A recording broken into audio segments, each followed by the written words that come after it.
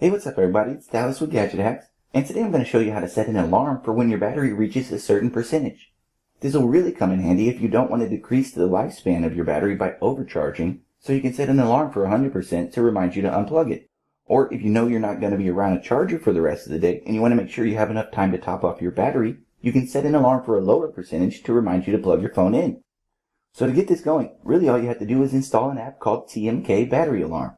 It's available for free on the Google Play Store, so go ahead and install it and we'll see how it works. From here, it's a really simple interface. You just use this slider to set the percentage at which you'd like the alarm to go off. Beyond that, there's an option for the ringtone or alarm sound. The app provides a few different tones to choose from, so you can surely find something that fits your needs. When you're all set up, all you have to do is tap this icon in the top right corner to set the alarm. So now, when my battery level reaches 48%, an alarm will go off to remind me to plug it in. Simple and functional, right? But for more tips and tricks like this, be sure to check out our website over on GadgetHacks.com. And as always, we'd appreciate it if you would like and comment on this video and subscribe to our channel.